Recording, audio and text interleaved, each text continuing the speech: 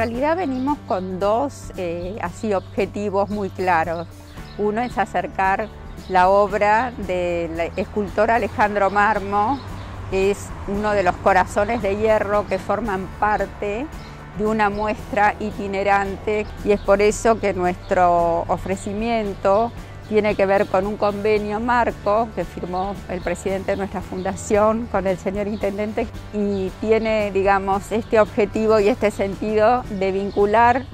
para poder eh, invitarlos a formar parte de aquellos cursos de capacitación. Y esto es el inicio de un trabajo más que se vincula con la Fundación Garrahan, con el hospital y con el resto de hospitales de la red. Es una alegría y una celebración poder estar en contacto con el intendente y con todo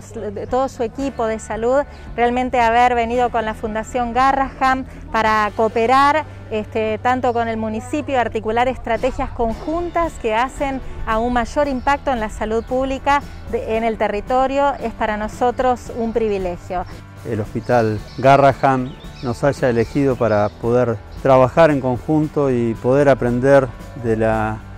inmensa trayectoria que tiene este hospital y lo que significa para todos los argentinos. Y no dudo que esto va a ir despertando otras posibilidades de seguir capacitando a nuestra gente para poder atender de mejor manera a nuestros chicos.